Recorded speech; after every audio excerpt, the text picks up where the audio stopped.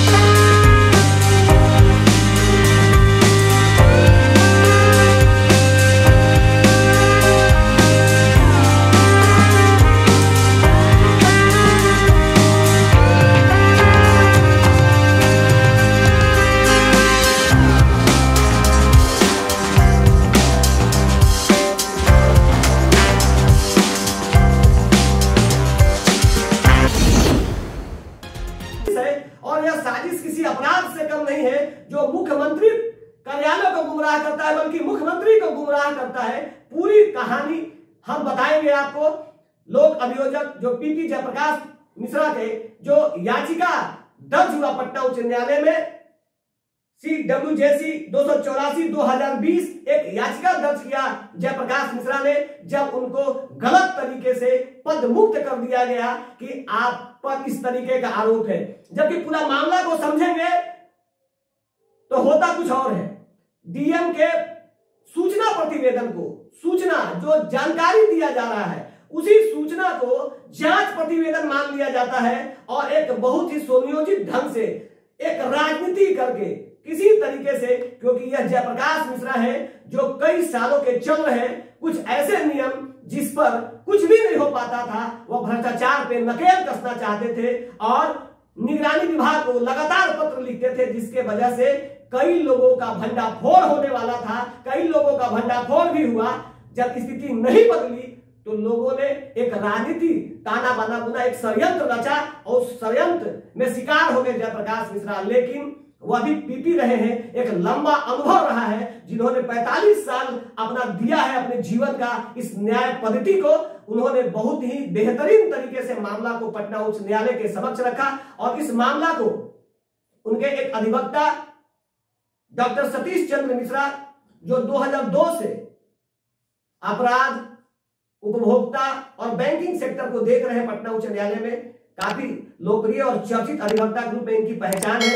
यह जयप्रकाश मिश्रा जी के C W जेसी दो सौ चौरासी दो हज़ार बीस के अधिवक्ता के रूप में इन्होंने अपनी बात रखी। हम आइए इनसे मिलाते हैं और सबसे पहले हम हार्दिक स्वागत करते हैं सतीश मिश्रा जी, केवल सच न्यूज़ कार्यालय में।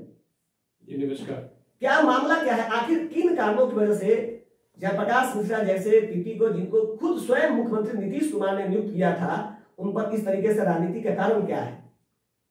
इसमें सबसे प्रमुख है कि 23 अगस्त 2016 को माननीय मुख्यमंत्री जी ने जी, जी। उनको मोतिहारी जिला का पीपी नियुक्त कर दिया। और श्री जयप्रकाश मिश्रा जी वहाँ बड़े अच्छे ढंग से सरकार का पक्ष रखते रहे न्यायालय में। और उन्होंने गरीब लोगों को और जो वादी हैं उनको न्याय दिलाने के लिए बड़े सक्रिय रहे। उन्होंने अपना पारिवारिक जीवन सब छोड़ दिया कि हमें जो है सरकार ने ये जवाबदेही दी है और सुशासन की सरकार है तो हमें सुशासन पूरा देना है। और वो काम करते रहे। लेकिन इसी बीच में जो लोग हैं क्योंकि वो एक कहते हैं कि सवर्ण जाति के वो अधिवक्ता रहे जो हम लोगों ने रिसर्च किया देखा। पैंतीस साल बाद कोई सवर्ण जाति के वहाँ पर अधिवक्ता पीपी बनाए गए थे। तो लोगों में अच्छा मैसेज गया था कि माननीय मुख्यमंत्री जी सवर्णों को भी जो है प्रेफरेंस दे रहे हैं। तो काम करते रहे बड़ा अच्छे ढंग से करते रहे। जब तीन साल उनका होने के हो गया इसी बीच में राजनीतिक साजिश होने लगी। जी। कई तरह का बेसलेस शिकायत जो है लोग विधि विभाग को भी देते थे डीएम को देते थे। तो इन सबको वो नजरअंदाज करते थे वो कहते थे सरकार ने मुझे ज़िम्मेदारी जो दी है हम उसका निर्वहन करना है। इसी बीच में जो आरोपों के आलोक में डीएम ने जो है मोतिहारी डीएम रमन कुमार ने एक सूचना पत्र जो है विधि विभाग के ज्वाइंट सेक्रेटरी को दिया। जी जी। कि जो एलिगेशन लगे हैं उसकी हमने जाँच करने के लिए कमेटी बनाई है। जी जी। लेकिन कमेटी ने आज तक रिपोर्ट नहीं दिया। वो मामला है फरवरी 2019 का। जी जी। उसको जो है बिहार सरकार विधि विभाग ने अपने पास जी। रख लिया काफ़ी टाइम और 23 अक्टूबर 19 को उनको हटा दिया। जी मामले के तह में जब जा गया और आरटीआई से जब पूरी फ़ाइल निकाली गई तो पता लगा कि इसमें कला संस्कृति मंत्री श्री प्रमोद कुमार जी जो मोतिहारी के स्थानीय विधायक हैं उन्होंने एक पत्र जो है उस समय के कानून मंत्री श्री नरेंद्र नारायण यादव जी को लिखे। कि इनको पद से हटा दिया जाए। और उस पर उन्होंने तीन चार विधायकों का भी साइन कराया मंत्री के लेटर हेड पे और दो राजनीतिक दल के जिलाध्यक्षों का भी सिग्नेचर करवा लिया। और वह पत्र दे दिया उन्होंने। उस पत्र को जब हम लोगों ने आरटीआई से निकाला तो देखा कि कानून मंत्री नरेंद्र नारायण यादव जी विधि सचिव को लिखे कि जिलाधिकारी पूर्वी चंपारण से जाँच प्रतिवेदन मांगा जाए। जी जी। सुस्पष्ट। जी जी। वह जाँच प्रतिवेदन आज तक नहीं आया। जी जी। 2022 हो गया। जी। लेकिन उनको जो है प्रमोद कुमार जी जो मंत्री रहे कला संस्कृति जो आज के डेट में बिहार के कानून मंत्री। हैं और गन्ना विकास मंत्री भी हैं। जी जी। उनके ही पत्र के आलोक के आधार पर उन्होंने जो है कलेक्टर के पत्र को ढाल बनाकर जी जी। वो जाँच रिपोर्ट था ही नहीं। जी जी। सूचना पत्र को जाँच रिपोर्ट मान लिए और इनको 23 अक्टूबर 2019 को पद से मुक्त कर प्रमोद कुमार जो मंत्री थे कला संस्कृति मंत्री उस समय जिस समय का ये घटना है आखिर क्या वजह क्या रहा होगा कि प्रमोद कुमार अचानक जयप्रकाश मिश्रा के विरोध क्यों कर रहे हैं या क्या कारण कुछ रहा होगा? ऐसा कुछ है क्या? एक तो वो मोतिहारी का स्थानीय विधायक है। जी। और वो भी विधायक बनने से पहले जी। कभी कभी कोर्ट वो भी जाते थे लाइसेंसी वकील वो जो है जी। थे। तो लोकल राजनीति जो होती है जी जी। अब उनको था कि मेरे जेब से कोई बन जाए। जी जी। जयप्रकाश मिश्रा जी बने हैं तो हमसे मुख्यमंत्री जी ने पूछा नहीं है। जी जी। जयप्रकाश मिश्रा जी एक प्रोफेशनल लॉयर है। वो किसी पार्टी के मेंबर नहीं है। जी जी। और बेदाग छवि है। दस साल वो एडिशनल पीपी रहे। जी जी। उसके बाद वो special PP S C S T रहे। जी जी। फिर स्पेशल पीपी एनडीपीएस एक्ट के भी रहे। जी जी। तो उन्होंने सभी पदों पर जो है अच्छा काम किया। सरकार को सूचना मिली होगी कि अच्छे वकील हैं। और सरकार मुकदमा बहुत हारती थी। जी जी। आ, वो कभी सरकार में लॉबी नहीं किए। माननीय मुख्यमंत्री जी से भी नहीं मिले कि हमें पीपी बनाया जाए। हाँ उन्होंने आवेदन ज़रूर किया था और जिला जज और डीएम की कमेटी ने उनके नाम की अनुशंसा इस इस पद के लिए पीपी बनाने के लिए की थी। और सरकार ने उनको पीपी बना दिया। बना दिया तो उन्होंने स्वीकार किया सरकार को धन्यवाद दिया और सरकार के प्रति उन्होंने वफादारी से काम किया। सरकार को मुकदमों में जीत भी दिलाई। लेकिन ये लोग लगातार लगे रहे। मतलब आप ये कह रहे कि एक तरीके से द्वेष का भावना था। बिल्कुल बिल्कुल। पत्र देखने से जो है यही लग रहा है कि इनका कोई मतलब नहीं लेकिन द्वेष घृणा। कोई पत्र है तो दिखाएँ। हाँ बिल्कुल बिल्कुल। ये आपको प्रमोद कुमार जी का पत्र है ये। जी जी। ये यही पत्र है जो श्री प्रमोद कुमार जी उस समय के कानून मंत्री जी को लिख रहे हैं। ये सब हम लोगों ने आरटीआई से निकाला है। जी जी। तब जाकर ये खुलासा हुआ कि पृष्ठभूमि में पूरी साजिश चल रही थी। जी जी। जब आपने याचिका ये सी डब्ल्यू जे सी दो सौ चौरासी दो हज़ार बीस दर्ज किया तो क्या फैसला आया और आगे क्या हो रहा है इस मामले मुद्दे पर? दरअसल याचिका दायर करने का श्री जयप्रकाश मिश्रा जी का इरादा नहीं था। जी। क्योंकि नीतीश सरकार ही उनको नियुक्त की थी और नीतीश सरकार ही उनको पद से मुक्त कर दी। जी जी। तो उनको आश्चर्य हुआ कि आखिर ऐसा हुआ क्या? क्यों मुझे हटाया गया? तो उन्होंने काफ़ी सोचा समझा। तो उन्होंने सोचा कि अच्छा बात से बात बन जाती है तो अच्छी बात है। तो उस समय के उन्होंने जो है श्री गुलाम रसूल बलियावी जी जो जनता दल यू के ही विधान पार्षद हैं उन्होंने उनको एक पत्र भेजा कि मुझे यहाँ पद्म सेवा से पद से मुक्त कर दिया गया है जो आधारहीन आरोप लगाकर। तो उस पत्र के आधार पर गुलाम रसूल बलियावी जी ने माननीय मुख्यमंत्री जी को पत्र लिखा। जी। और उस यही वह पत्र है जो बलियावी साहब लिख रहे हैं। और ये पत्र जब गया तो माननीय मुख्यमंत्री जी के यहाँ से विधि सचिव को पुनर्विचार के लिए गया। जी। और विधि विभाग में फ़ाइल भी तैयार हुआ। जी। और विधि सचिव उस फ़ाइल को जो है विधि मंत्री श्री नरेंद्र यादव जी को भी भेज दिए। लेकिन माननीय मंत्री जी जो है उस फ़ाइल को लेकर बैठ गए कुंड- कुंडली मार लिए उन्होंने कोई फैसला नहीं किया। मजबूरी में श्री जयप्रकाश मिश्रा जी को माननीय पटना उच्च न्यायालय में याचिका दायर करना पड़ा। और जब याचिका दायर किया गया तो हाई कोर्ट में उस समय फरवरी 2020 में स्ट्राइक हो गया था। और मार्च के एंड से जो है वो कोरोना का चक्र आ गया जिसके कारण याचिका सुनवाई में देरी हो गई। लेकिन इस याचिका को। अभी जो है 2021 में माननीय न्यायाधीश पीवी बजंत्री साहब के न्यायालय में। पाँच डेट में ही निपटारा हो गया। और इसमें माननीय उच्च न्यायालय ने यह फैसला दिया वो भी बिहार सरकार की सहमति से कंसेंट लेकर कि जो उनको पद से मुक्त किया गया है वह आदेश सरकार सात दिन के अंदर वापस ले लेगी। लेकिन उन्होंने वापस नहीं लिया। क्या कारण क्या हो सकता अब इसके पीछे सरकार को गहरा झटका लगा और जो लोग साजिश करता थे वो वो लोग सरकार में जो है अब- अब- अब, श्री प्रमोद कुमार जी कानून मंत्री बन गए। जी जी। अब उनको लगा कि अरे मैं मैंने ही हटवाया जो, पहले आरोप लगाने वाला व्यक्ति अब खुद ही विधि मंत्री के रूप में विराजमान हो गया। बिल्कुल। तो ये एक बड़ा मतलब ढाल बन गया समय विलंब करने का। विलंब करने का। और इसमें फैसला आया तो इन लोग उसको रोकने के लिए अपील दायर करने के बहाने बनाने के लिए उसको रोके रहे। जी जी। लेकिन इन लोगों ने बारीकी से जजमेंट को नहीं पढ़ा। जी जी।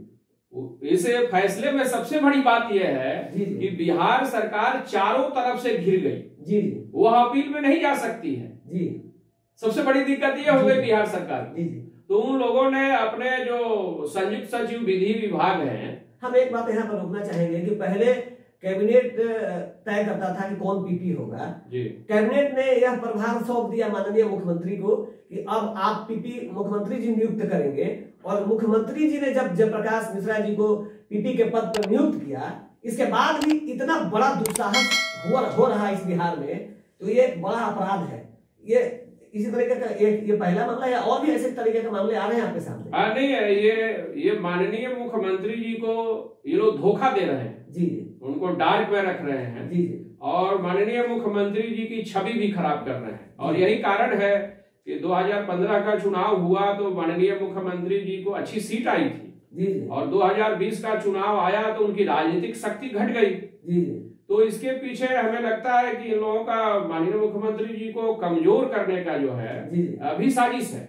और तथ्य जो है उसे छिपा लिया जाता है। और उस, तथ्य में एक जैसा कि हमने एक पत्र दिखाया प्रमोद कुमार जब थे मंत्री जी। तो जदयू का भी एक नेता का उसमें हस्ताक्षर दिख रहा है। और नरेंद्र नारायण यादव उस समय में जदयू के ही कानून मंत्री थे। बिल्कुल। तो कहीं ऐसा तो नहीं है कि जदयू भाजपा मिलकर नीतीश जी का कब्र खोद रही है? आ, ऐसा ही लगता है क्योंकि बड़ा इसमें महत्वपूर्ण बात यह है कि जब विधान पार्षद श्री गुलाम रसूल बलियावी जी ने माननीय मुख्यमंत्री जी को पत्र लिखा था पुनर्विचार के लिए। जी। और हमने भी जब उनको बताया कि आपके पत्र के आलोक में फ़ाइल बनी है लेकिन माननीय कानून मंत्री श्री नरेंद्र यादव जी जो है उस फ़ाइल को लेकर बैठ गए हैं। तो श्री गुलाम रसूल बलियावी जी श्री नरेंद्र नारायण यादव जी के आवास पर गए थे उनसे मिलने। जी। कि उनको सत्य बात बता दिया जाए। आश्चर्य यह है कि उन्हीं के पार्टी के विधान पार्षद एक घंटा वहाँ उनके आवास पर बैठे रहे लेकिन माननीय नरेंद्र नारायण यादव जी ने उनसे मुलाकात नहीं किया। भयावह स्थिति। बहुत भयावह स्थिति है। और इसी तरह के मामले तीन और भी हुए थे। जी। पटना जिला के पीपी को भी जो है इसी तरह हटा दिया गया था। दरभंगा जिला के पीपी को भी इसी तरह से अल्पसंख्यक समुदाय के थे दरभंगा जिला। उनको भी हटा दिया गया था। और बिहार शरीफ जो माननीय मुख्यमंत्री जी का गृह जिला है वहाँ के भी पीपी जो अल्पसंख्यक बिरादरी से थे उनको भी हटा दिया गया तीनों लोग हाई कोर्ट आए थे। और तीनों लोगों को हाई कोर्ट ने फिर से बहाल कराया। और सरकार सिंगल बेंच में तो हारी ही। डबल बेंच में भी हार गई। तो एक वो रिपोर्टेड जजमेंट था। बिल्कुल। तो उससे जो है श्री मिश्रा जी के मोतिहारी वाले मामले में भी बड़ी मदद मिली जी। कि सरकार इस तरह से जो है गैर कानूनी तरीके से दुर्भावना से लोगों को हटा रही है। इसका मतलब है कि सरकार के जो कुछ तथा कथित मंत्री हैं वो बिहार में भ्रष्टाचार न्याय के क्षेत्र में भी बढ़ाने का योगदान दे रहे हैं। हाँ, बिल्कुल बिल्कुल। और ये छोटी बात नहीं है संविधान में सबकी शक्तियाँ जी। सरकार कहती है कि हम जनता की बात सुन के काम करते हैं। जी। सरकार अब हमें तो आश्चर्य लगता है कि जनता का बात सरकार कैसे सुनती होगी जब वो माननीय पटना उच्च न्यायालय का बात नहीं सुन रही है। जी जी। पटना उच्च माननीय पटना उच्च न्यायालय के आदेश को लागू नहीं कर रही है। यहाँ तक कि श्री जयप्रकाश मिश्रा जी को जब आदेश का पालन नहीं हुआ जी जी। तो उनको जो है अवमानना याचिका दायर करनी जी पड़ी। जी उसमें भी एक एमजीसी अट्ठाईस दो हज़ार बाईस हुआ है। जी। उस पर क्या हो रहा है अभी फ़िलहाल? जी अवमानना याचिका उनको इसलिए दायर करना पड़ा क्योंकि अवमानना अब माननीय पटना उच्च न्यायालय और बिहार सरकार के बीच का हो गया। जी जी। अवमानना याचिकाकर्ता का नहीं हो रहा। जी जी।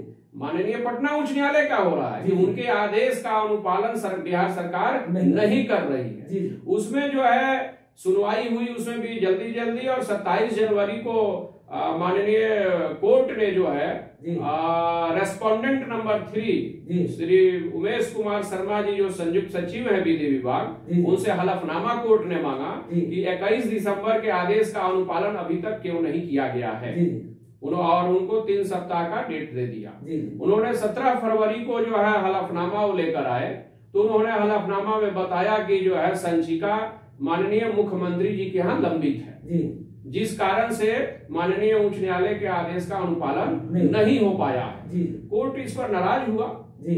कि आपको तो एक सप्ताह के अंदर ही करना था। जो 21 का दिसंबर का आदेश था। अट्ठाईस दिसंबर तक 21 तक आपको करना था। जी।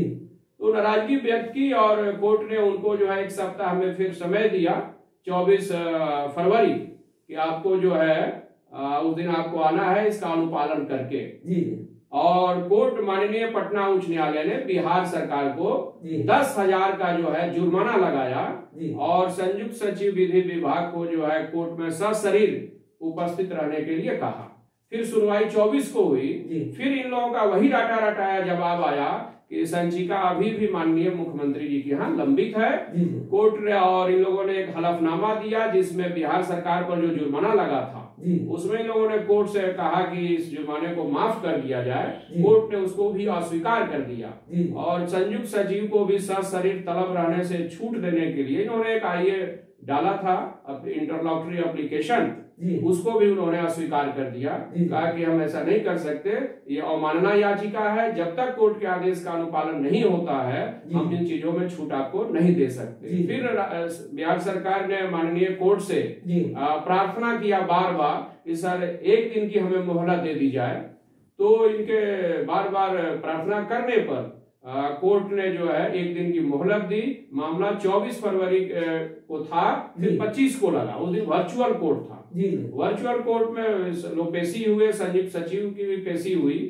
और वर्चुअल कोर्ट में थोड़ा बड़े मामले में थोड़ा अनकंफर्ट होता है कनेक्टिविटी वगैरह का। और इन लोगों ने फिर उस दिन बताया कि संचिका माननीय मुख्यमंत्री जी के यहाँ लंबित है। तो उस दिन जो है कोर्ट को नाराज़गी हुई स्वतः सही बात है कोर्ट का समय खराब हो रहा है।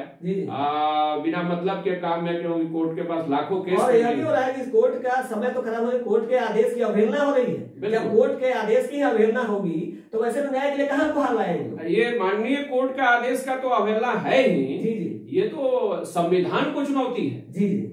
माननीय उच्च न्यायालय एक संवैधानिक संस्था है। जी जी। और व्यवस्थापिका कार्यपालिका पर जनता का उतना भरोसा नहीं रहता है। जी जी जितना उसको आस्था और भरोसा माननीय न्यायालय पर होता है। जी बिल्कुल। और माननीय न्यायालय का ही आदेश का अनुपालन नहीं हो जी जी। तो एक संविधान को नहीं मानने वाली बात है। जी जी। एक चुनी हुई सरकार जी माननीय न्यायालय का आदेश नहीं मान रही है और सरकार कहीं अपील में भी नहीं गई है। जी जी। जा भी नहीं सकती है क्योंकि उसमें रास्ता ही नहीं है अपील में जाने का।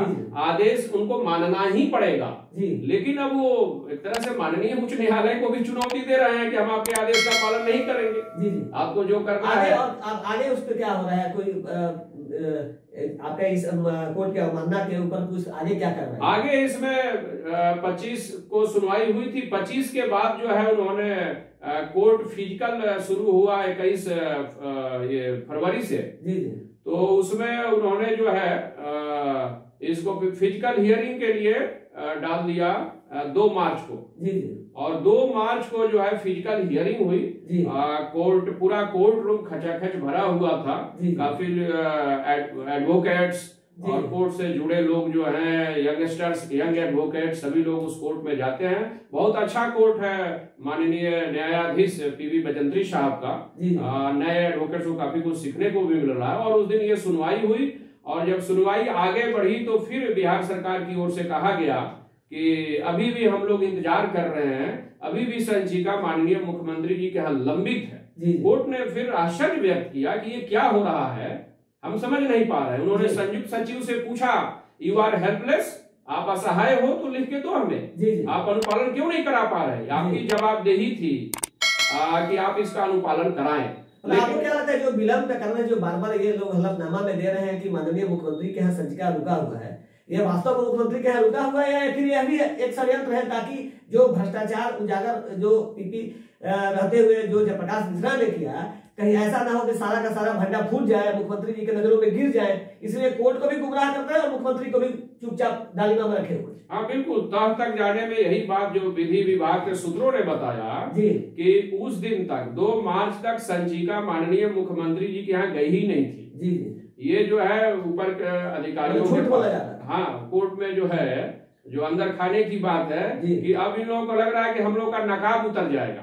हम लोगों ने गलतियाँ की है माननीय मुख्यमंत्री जी से भी गलतियाँ करा ली है तो इससे बचने के लिए ये लोग डिले कर रहे थे। और इसी कारण उस दिन कोर्ट ने जो है कोर्ट को भी शंका हुआ। कि इतनी इतना लंबा समय मुख्यमंत्री जी की यहाँ याचिका लंबित रह ही नहीं सकती है। मुख्यमंत्री जी का अच्छा रेपुटेशन रहा है। तो कोर्ट ने जो है उस दिन मुख्यमंत्री जी के माननीय मुख्यमंत्री जी के प्रधान सचिव को जी जी। माननीय पटना उच्च न्यायालय ने नोटिस जारी कर दिया। जी जी। और कहा कि आ, इस आदेश का अनुपालन नहीं हुआ है और ढाई महीने हो गए। माननीय कोर्ट के आदेश का। ये गंभीर मसला है और आप बता रहे हैं कि फ़ाइल कभी यहाँ है कभी वहाँ है। और दस दिन बाद जो है केस को फिर से सुनवाई के लिए जो है माननीय उच्च न्यायालय ने डेट फिक्स कर दिया। और अंदर खाने में यही बात चल रही है कब- में लड़ाई हो रही है। कौन सी तिथि? अगली तिथि कौन सी? अगली तिथि दस दिन बाद उन्होंने कहा तो वो दस दिन बाद होली की छुट्टी आ गई कोर्ट की। तो इक्कीस मार्च जो है वो तिथि निर्धारित हो चुकी है। इक्कीस मार्च 2022 बाईस। को कोर्ट फिर एक बड़ा फैसला लेगा। बिल्कुल। जैसा उन्होंने सीडब्ल्यूजीसी के अवमानना के मामले में दस हज़ार रुपया का जुर्माना लगाकर लिया है। बिल्कुल। आपने सुना अधिवक्ता डॉक्टर सतीश चंद्र मिश्रा को कि किस तरीके से लोग अभियोजक पीपी जयप्रकाश मिश्रा के साथ किस तरीके से राजनीतिक षड्यंत्र करके वह भी भारतीय जनता पार्टी और जदयू की मिली संयुक्त तत्वाधान में एक बड़ा ही सुनियोजित तरीके से एक ब्राह्मण को, हो सकता है यह ब्राह्मण शब्द इसलिए जोड़ रहे हैं क्योंकि जिस तरीके से यह कृत्य किया गया है, दो पीपी जो एक दरभंगा और एक बिहार शरीफ का जो मुख्यमंत्री का खुद का गृह जिला है उस जिला के लोक अभियोजक के साथ इस तरह की घटना हुई है और उनकी वापसी हुई है, पुनः उनको पद पर नियुक्त किया गया है। जयप्रकाश मिश्रा जी भी निश्चित तौर पर नियुक्त होंगे क्योंकि मुख्यमंत्री नीतीश कुमार पर आज भी लोगों को भरोसा है और निश्चित तौर पे जैसा कि कोर्ट ने अनुमान लगाया ऐसा उन, उनको लगा उस कोर्ट को कि निश्चित तौर पे मुख्यमंत्री के यहाँ यह मामला नहीं गया होगा क्योंकि मुख्यमंत्री के यहाँ इतना दिन तक अगर कोई संचिका रहेगा तो निश्चित तौर पे ये जो बिहार में विकास के जो दावे किए जा रहे हैं वो निश्चित तौर पे निष्फल होते लेकिन कहीं ना कहीं गुमराह किया जा रहा है और इतना कुछ होने के बाद भी दस हज़ार रुपया का जुर्माना बिहार सरकार को लगने के बाद भी अगर वो कुंभकर्णी नींद में सोया हुआ है तो भगवान जाने इस बिहार को कौन बचाएगा? कैसे चलेगा सिस्टम जब न्यायालय को ही गुमराह करने की हिम्मत, ताकत, शक्ति अगर बिहार सरकार दिखा रही है तो आम जनता बिल्कुल गेहूँ में घून की तरह पीसते रहेंगे। भगवान ही बचा सकता है। जब संविधानिक तौर तरीका से चलने वाला सिस्टम लोकतंत्र के चारों स्तंभ में न्यायपालिका को जब उसी न्यायपालिका की शपथ लेकर ये जनप्रतिनिधि आगे की कार्रवाई करते हैं, उसी संविधान की शपथ लेते हैं और उसी संविधान को जब यह लोग ठेंगा दिखाने लगेंगे तो फिर न्याय के क्षेत्र में, न्यायालय में लोग कैसे गुहार लगाएँगे? जब एक पीपी की यह हालत है तो आप अंदाज़ा लगा सकते हैं, आम आदमी किस तरीके से न्यायपालिका से, कार्यपालिका से और उनके व्यवस्थापिका से, जो व्यवस्थापक है आईएएस आईपीएस जो भी लोग हैं यहाँ पे, उन लोगों का कितना बढ़िया कृत्य रह रहा होगा? ये आप अंदाज़ा लगा सकते हैं यह वह विधायिका है, यह वह प्रशासनिक क्षेत्र है, जो मुख्यमंत्री को गुमराह कर रहा है। कोर्ट के अवमानना करने वाले लोगों को तो निश्चित तौर पे कड़ा दंड मिलेगा ही मिलेगा, क्योंकि कोर्ट ऐसे लोगों को छोड़ने वाली नहीं है। लेकिन यह मुख्यमंत्री के लिए चुनौती है कि मुख्यमंत्री के नाक के नीचे उनके ही पदाधिकारी और मंत्री इतना घिनौना कृत्य करेंगे तो बिहार को भगवान ही बचाने के लिए कोई अवतार लेकर आएँगे। आप देख रहे थे केवल सच न्यूज़। हम फिर इक्कीस मार्च को जो फैसला आएगा, हम उसके लेकर फिर डॉक्टर सतीश चंद्र मिश्रा, जो अधिवक्ता है, जो याचिकाकर्ता जयप्रकाश मिश्रा का पक्ष रख रहे हैं न्यायालय में, हम उनको फिर से एक बार अपने स्टूडियो में लाएँगे। और क्या फैसला आया, हम उस पर भी चर्चा करेंगे। बहुत बहुत धन्यवाद आपने स्टूडियो में समय दिया